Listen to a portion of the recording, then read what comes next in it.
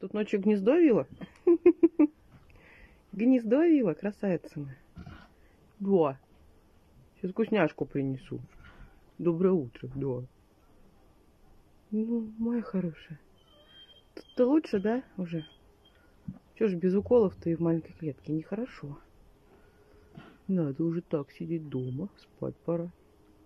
Да, умница моя, Ты что пришла с пустыми руками, да?